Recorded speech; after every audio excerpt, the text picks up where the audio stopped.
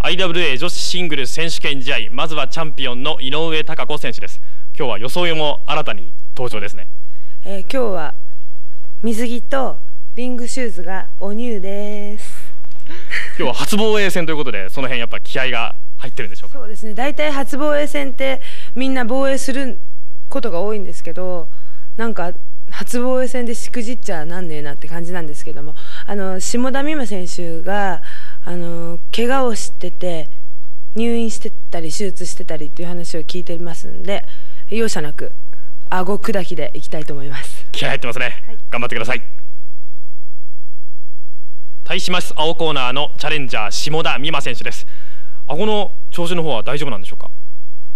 出るからには大丈夫ということで、はい、もう試合の方は経験されてるんですね退院してから、えっと、1試合だけしたんですけど退院してまだ1週間くらいしか経ってないんであの慣らしの運動くらい運動とか練習くらいしかしてないんでちょっと不安なんですけど、まあ、出るからには勝ちたいと思います。チャンピオンも容赦しないと話していましたけども、勝手にしてくれって感じです。今日はぜひベルトを巻いて、ね、この横浜アリーナでいい試合を期待してます。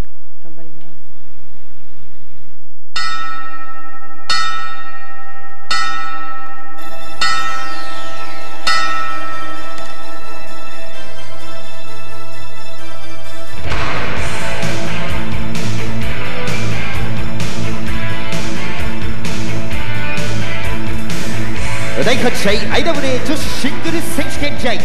60分一本勝負を行います。はじめに青コーナーより挑戦者下田美馬選手の入場です。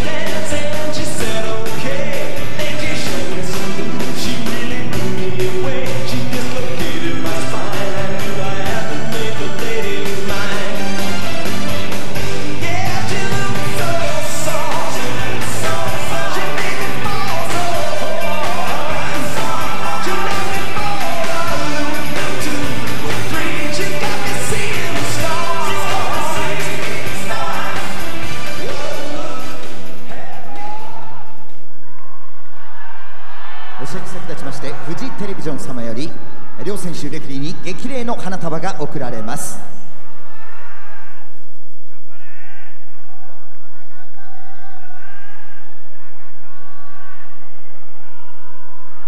続きまして選手権保持者井上貴子選手よりチャンピオンベルトの返還でございます。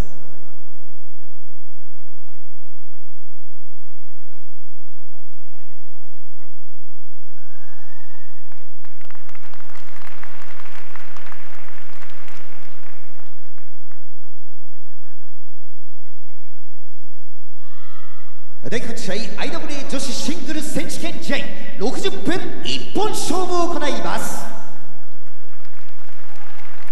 青コーナー挑戦者145パンス下田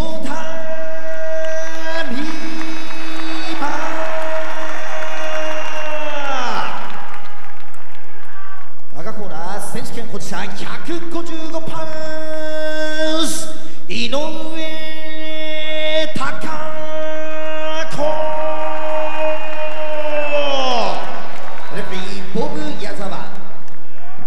試合 IWA シングル選手権試合。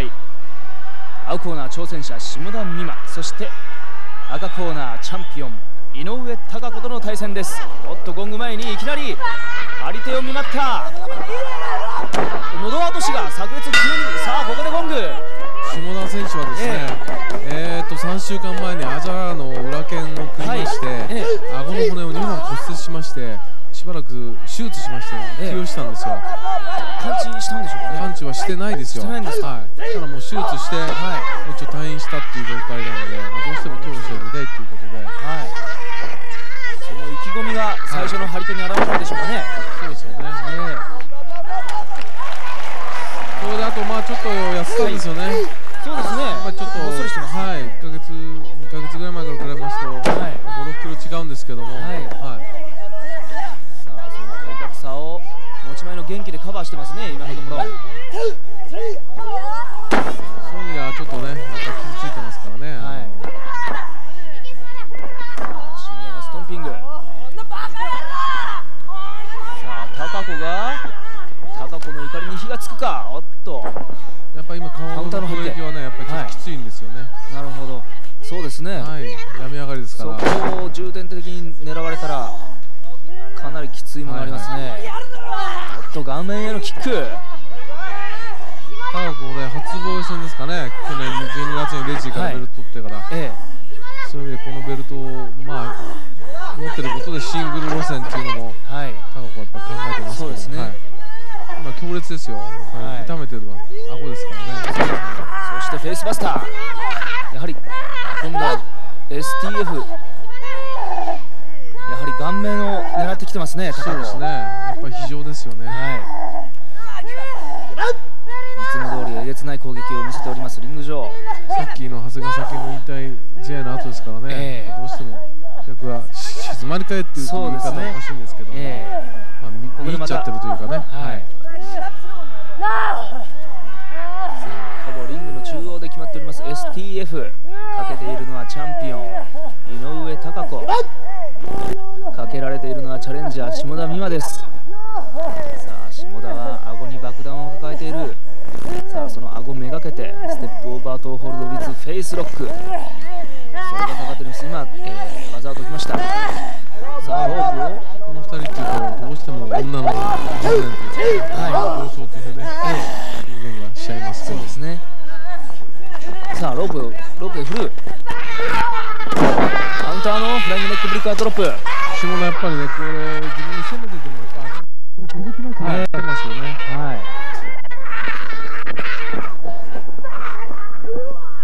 い。リカー2連発抑えて抑えてますね、はい。かなり苦しい。模様です下田やっぱこの4月からですね、はい。一つ代表してもらい。たい。一人なんですよ、下田ってい。うのは。今までは三田とのタッグで、えー名を馳せてきましたがここでやはりシングルとして、そうですね、はい、強さを、痛いみたいですね。ははい。い、試合中これだけ抑えるってことはかなりそうですね。みたいですね。やっぱり出られる状態じゃないんですよね。はい。それでもこれだけビッグマッチですからね。はい。記録が出てきたそうらね。ですね。本来やっぱ顎を骨折してに2週間 一週足らずでね退はい。退院すること自体がまあまあ無無茶ですね。はい。はい。やはりチャパリ、場外ではい、チャパリとアサリはやっぱり同じ顎を骨折して3ヶ月休みましたからね。ああ。それをたった2週間でリングに上がってくる下田。やはりこのベルトに並々ならぬ闘志が。そうですね。あとこれだけのお客さんが入ってる前でやっぱ自分をねね。いないっていうことはもう忘れられちゃいますからね。はい。それでなくても流れの速い前場マットですからね常に自分をアピールしていかなければなりません。さあ振り向きざまのボディアタック。カウント2で返す高子。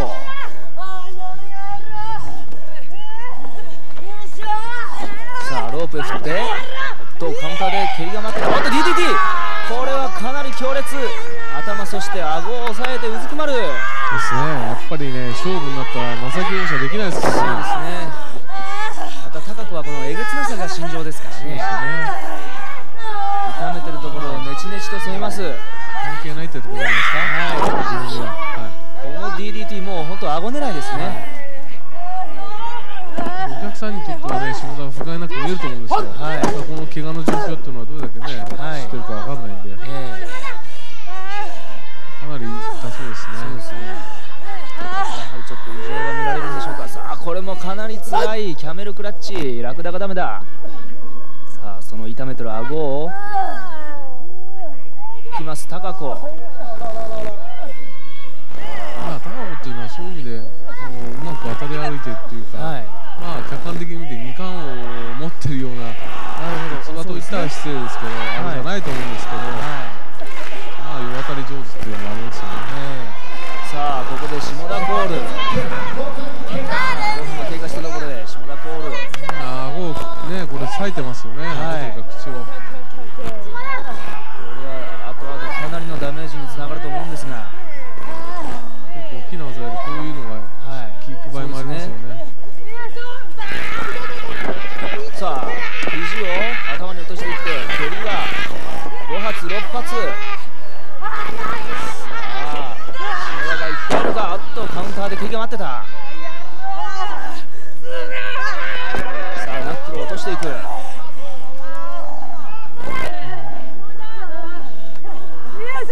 あおっとこれは前方に胸に込んだやはり下田としてはこういった細かい技、うん逆こうい逆転技で一瞬で、はい、クイックでいかないと、そうですね今やっぱりちょっと体力的にもはい厳しいですから、ええトップロープを受け取ってねおっとトップロープからの喉落とし、これは強烈。おっとカウントする寸前で下田が返しましたが起き上がれる状態じゃありません、えですね、えかなり厳しい状態ですよ、今日は。はい、高子がまたトップを伺う。おこれはうまくやりました低空のドロップキック場外を落とす。さあこれで飛ぶのはかなり無茶かもしれませんが。さあ飛んでしまうのか？おっとこれちょっと自爆じゃないですか？ちょっと厳しいですね、今の持ち方は。はい。高子がうまく返しましたね。あとやっぱり勢いがなかったですよね、はい。やっぱり飛ぶにしても。ええ。さあそして場外が客席の方へ客席の方へ連れ出していった高子。さあ場外でどういった攻撃を見せるんでしょうか。さあかなり苦しそうな下田の声が聞こえます。さあ踏みつけてますね顔面。こういったのが効きますね下田には。うんですね。やっはいぱり高子の攻めっていうのはね、ねちねちしてますからね。とこれお客さんのバッグですか？荷物で何か殴ってましたが、手当たり次第ですね高子。さあ下田を引きずり回しています高子。おっとえー下田が場外でバックドロップ。さあ起死回生となるか。そしてもう一発いきますか？これは、さあ高子がなくなっと立ち上がったところへ。さあ下田が。コーペこれは決まりました。やられてばかりじゃありません下田。さあ高子をリング上へ引きずり起こして。さあ何が出るのか。タイガースプレックス、タイガースプレックスですね。はい。下田の18番ですか。ら。はい。ちょっと唐突でしたね。そうですね。はい。さあ2連発。タイガースプレックスホールド。カウント2下田の場合はブリッジを死するっていうやり方じゃないんですよ。そうですね。体硬いですからね。え叩きつけてフォールするという。えカウント3寸前。さあタイガースープレックス3連発。さあこれで流れを変えることができるか下田美馬やはりただやられてばかりじゃいません。さあまたもまたもスープレックス。執拗にタイガースープレックスで攻めていきます。下田生き返ったか。ここで下田ペースになるんでしょうか。さあトップロープを伺う。さあ手拍子だ。下田ペースになってきたのか。ミサイルキック。これも強烈ですね。フォールの体勢。カウント2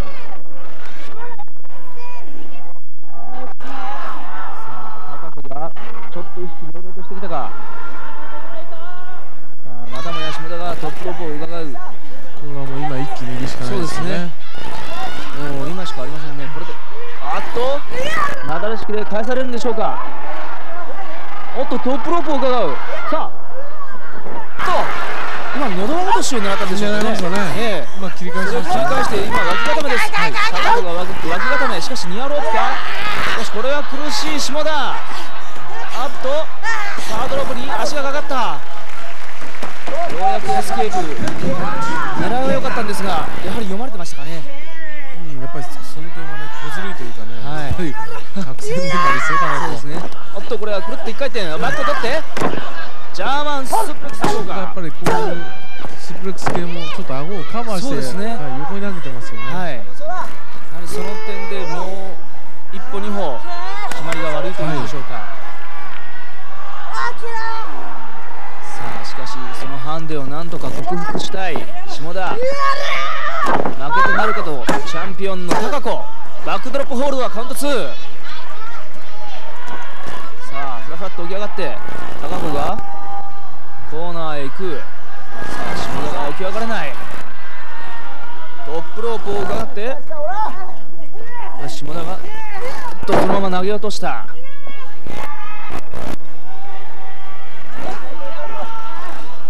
もう後先考えずですね下田は。もうここでやっていくしかないですね。うんただ顎は相当痛いはずですよ。はい。おっとこれは。飛びついての？あそこシダーズですね。はい。はカウント2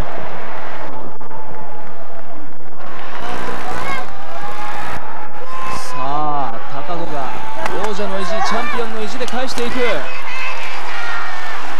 こは下田チャンスか。い、下田頑張ってますね。かなり顎はねはい。きついはずですよ。おこれなんですかクロスアームおっとカウントおーすカウンター。2し。かしこれは休んだらいけませんね、はい。下田は。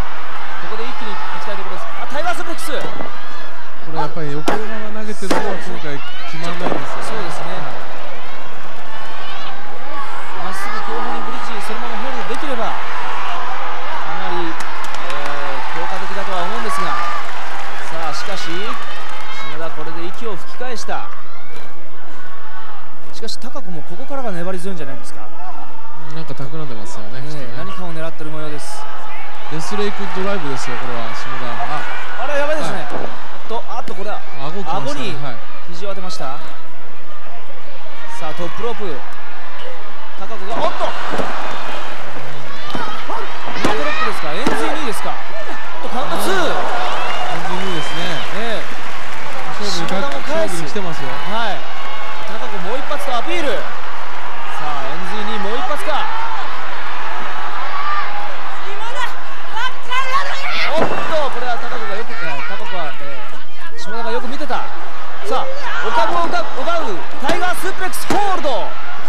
カウント2いや一瞬入ったかと思いましたけどね、相手のお株を奪ったわけですよね。はい。さあそして DDT 顔面への DDT さあそしてエンズイ2を狙うか。高子。さあ下田がおっとこれはうんカウンターに入りましたね。カウンターで危のあたり入りましたねカウント3片襟固め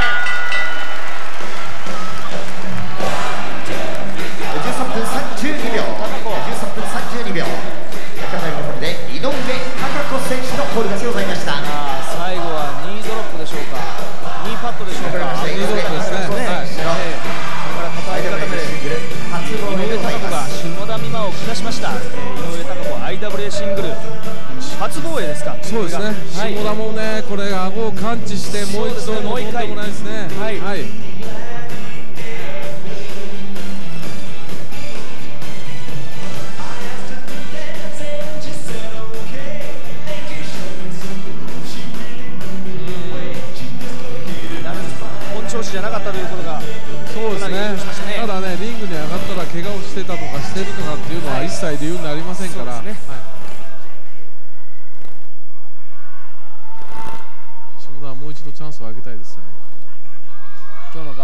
されますか？うんっていうかね、調子が治ってからということで、はい。定書井上貴子殿あなたは横浜アリーナで行われた米国 IWA 並びに全日本女子プロレス協会認定 IWA 世界女子選手権試合で見事勝利を収め初防衛に成功されました。ここにチャンピオンベルトと認定書を送りその栄誉を訴えます平成8年3月31日全日本女子協会西名上田氏ありがとうございます。お願いいたしました。IWA シングル第8代王者井上貴子下田美馬を下して初防衛に成功したこのベルトも昭和63年に長内草がですね、はい。カナダから持って帰りましてもう78年ですか。すっかり定着しましたね。はい、全長の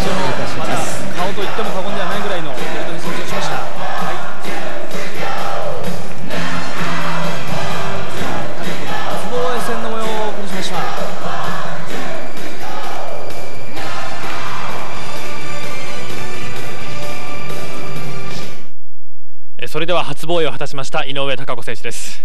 おめでとうございます。ありがとうございました。途中ね大技タイガースープレックスなどを連発で食らう場面もありましたけども。いやなんか途中で私の結構得意技の雪崩ののどらのど輪やられそうになっちゃったんであの悔しかったんでね最後タイガーでお返しみたいな感じだったんですけど。要所要所で出した DDT がすごく効いてたみたいですね。DDT? ええ要所要所で。あよしよしで、ええ。そうですね。DDT あの顎をまだ顎感知してない状態なんですよね下田さん。ほんでまあそれみんな分かってて攻めなかったらなんか私らしくないですよね。攻めない方法もあるんですけどあえて攻めさせていただきました。じゃあ最後のダイビングにも狙ってたわけですか、そうですね。最初の一発目の方が効いたかなと思ったんですけどもう本当にすごい勢いで返されたんで、2発決めました。まあ、まだ初防衛ということなんでね、はい。さらなる防衛を期待してます。はい。よかったです。初防衛できて。顎のケアから復帰して、まあ、タイトル挑戦ということだったんですけども、どうですか？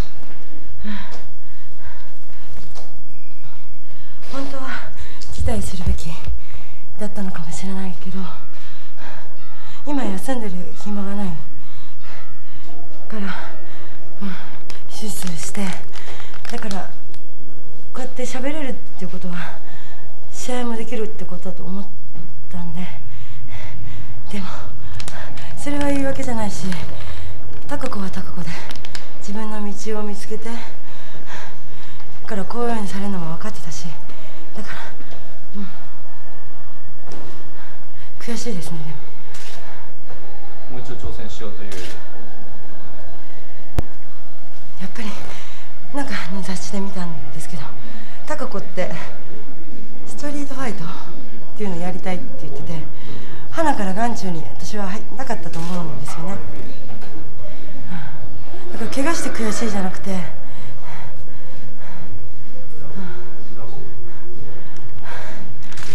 北斗晶がいなくちゃ何もできないって思われたくないし